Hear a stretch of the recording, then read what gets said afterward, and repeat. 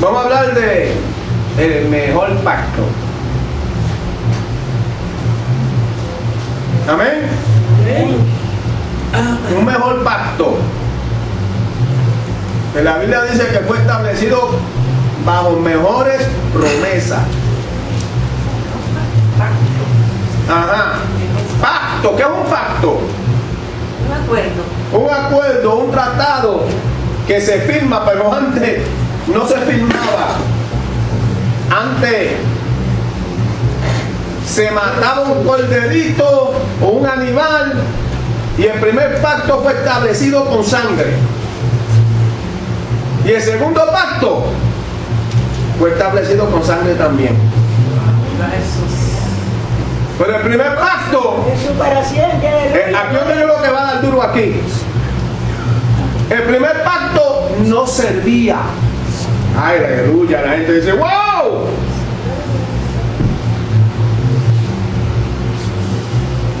Pero la Biblia prueba por qué no servía. No es que no era bueno, porque Pablo testifica que era bueno, pero no servía por causa de las debilidades y flaquezas de la carne. Porque si los pactos del primer pacto hubiera servido, esto lo vamos a estudiar en la Biblia. Si el primer pacto hubiera servido, no se hubiera procurado otro segundo pacto. ¿Capich? ¿Entienden? Yes. Yo digo que, me- que aquí que la gente se va a romper la cabeza. Y yo me voy a buscar un dolor de cabeza con un montón de gente si oyen esto.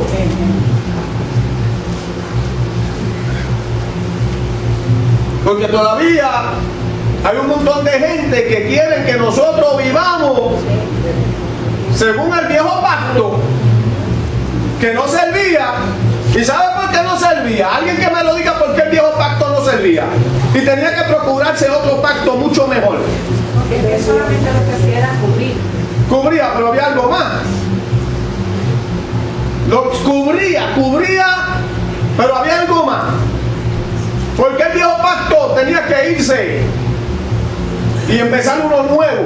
Por Cristo. Por Cristo, amén, Cristo, pero había una razón por qué el viejo pacto no servía, porque si hubiera servido, si, si ese viejo pacto hubiera servido, hubiera permanecido todavía. ¿Sabes por qué no servía? Para que no se rompa, después lo busquen en la Biblia, a lo mejor aparece ahorita mientras vayan al estudio. Amén. ¿Sabes por qué no servía el viejo pacto? Porque el viejo pacto, escuche bien esto, que era la ley, no solamente mataba, no podía ser perfecto a nadie. Por eso era que no servía, porque a nadie lo hacía perfecto. Yo no sé qué tiene la gente, que si la ley, que si la ley, que si la ley, que si la ley, que si la ley. Y la ley no perfeccionaba a nadie. Entonces viene Cristo, que es el nuevo pacto. Y mi Biblia dice ahí claramente que cada vez yo se lo cito, Romano, que Romano, Hebreo capítulo 10, versículo 14 hasta el 18. Especialmente el 14 te dice, Cristo con un solo sacrificio nos hizo perfecto una vez y para siempre. Pues ya no hace falta más pacto. O sea, no hace falta el viejo, lo que hace falta es el nuevo. Porque cuando estudiamos esto, si el viejo hubiera servido. Yo si hubiera procurado uno nuevo. Yo no sé, mire hermano, es que de verdad, gente que llevan, Dios mío, tantos años escudriñando la Biblia y enseñando la Biblia en, el instituto,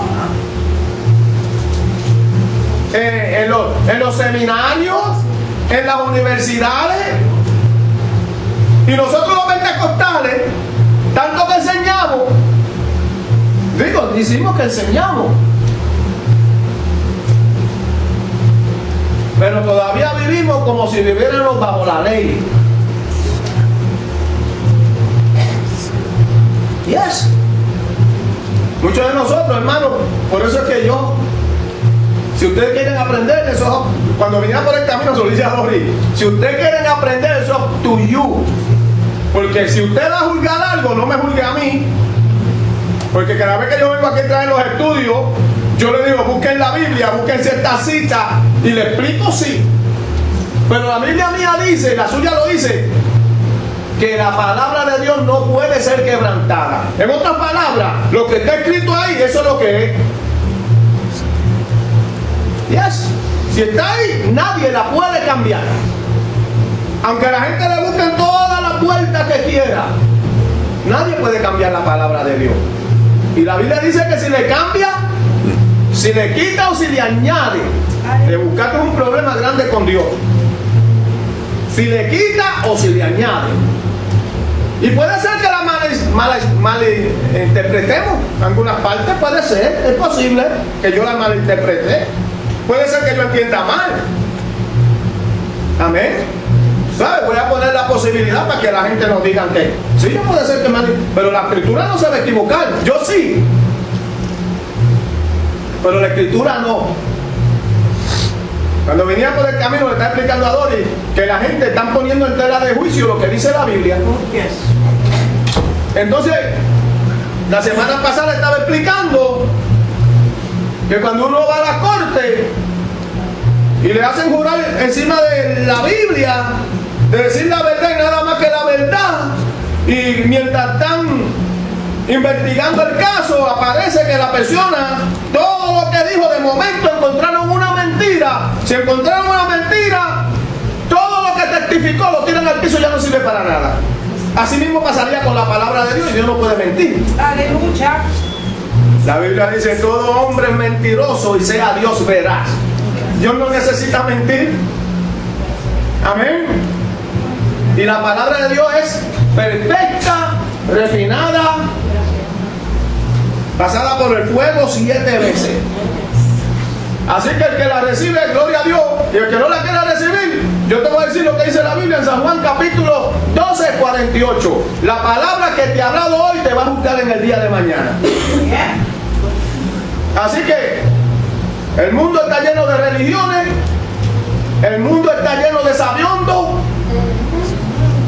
y gente sabia según ellos, pero no según Cristo. Porque si hubiera según Cristo, hermano, no hubiera tantas divisiones en iglesia y tanto concilio y tantas iglesias y tantas denominaciones. Si fuese según Cristo. Pero ha pasado lo mismo que pasó cuando el Pablo llegó a Corintio. Yo soy de Pablo, yo soy de Cefa, yo soy de Pedro, yo soy de Apolo, yo soy de Cristo. Y dividieron la iglesia a los sabiondos, los que decían que sabían mucho. Amén. Y allá están los Jesús solos, y allá están los sabáticos, y allá están los que se portan delante de los santos y tienen 50 mil santos, y allá están los que se portan delante de cuantos demonios hay. Allá, mire hermano, ha hecho un revolú con la obra del Señor y la iglesia del Señor. Ahora la gente no sabe ni siquiera dónde coger. Aún los pentecostales no saben. No saben dónde están parados. Brincan de iglesia. Hoy están en esta iglesia, mañana están en la otra, mañana están en la otra, mañana están en la otra. Y no saben ni dónde están. Y eso con la Biblia en la mano. Y no saben dónde están parados. Amén. Ok. Vamos a enseñar hoy de un pacto mejor. ¿Ok? ¿Tienen la Biblia en la mano? Amén. Bueno, dice la Biblia en Hebreo capítulo 8, versículo 6 y versículo 7. ¿Ok?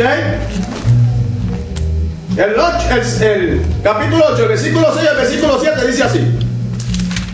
Pero ahora tanto mejor ministerio es el suyo, cuanto es mediador de un mejor pacto establecido sobre mejores promesas. ¿Ok? Un mejor pacto, que es el pacto de qué? ¿Cómo? ¿Alguien que me lo diga? Del Espíritu sí, amén. Y de la gracia. El pacto de gracia. Que tú eres salvo de la ley. Solamente por haber creído en Cristo. Tú eres salvo porque creíste en Cristo. Porque por las obras de la ley nadie se va a justificar delante de Dios.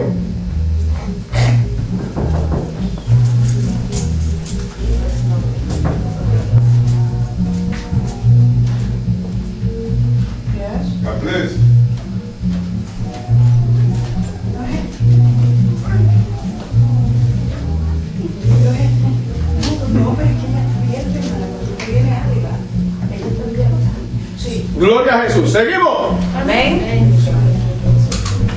Pero ahora tanto mejor ministerio es el suyo, cuanto es mediador de un mejor pacto establecido sobre mejores promesas. Ese es el versículo 6 y escuche bien esto, el 7. Porque si aquel primero hubiera sido sin defecto, ¿verdad que la palabra bien claro?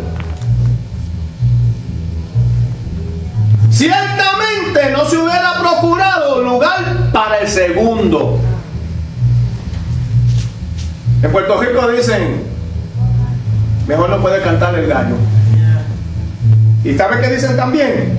Que para buen entendedor, con pocas palabras basta. So, el que no puede entender esto es porque los oídos se les se le han cejado, algo tiene, algo pasa.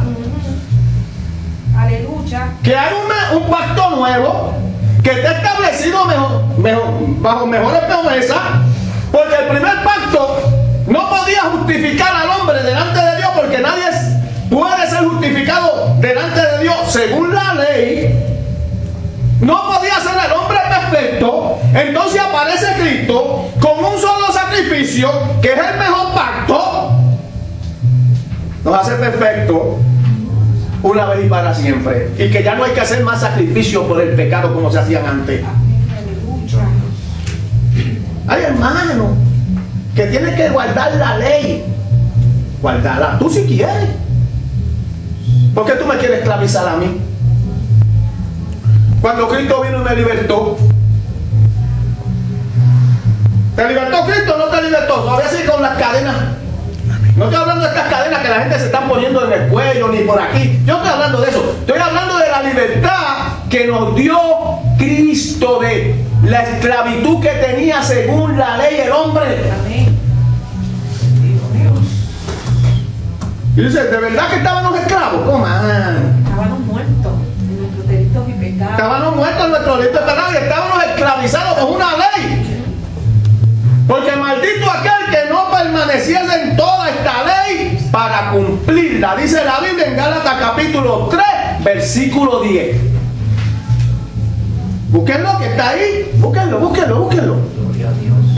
Busquen la Biblia, no, no se me queden ahí mirando. Busquen su Biblia y léanla. ¿Gálatas qué? 3.10.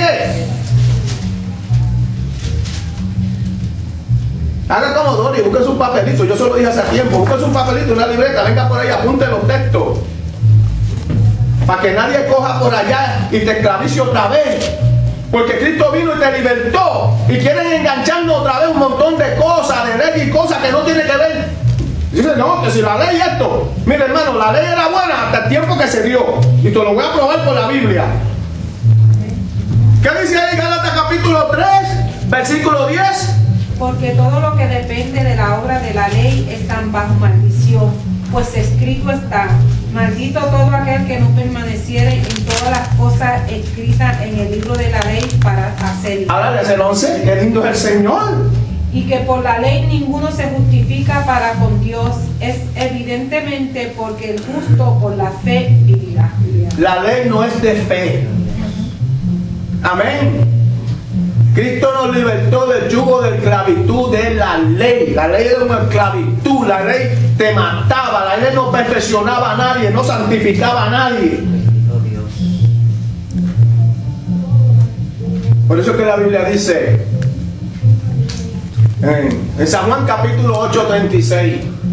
Si el Hijo te libertare, serás verdaderamente libre.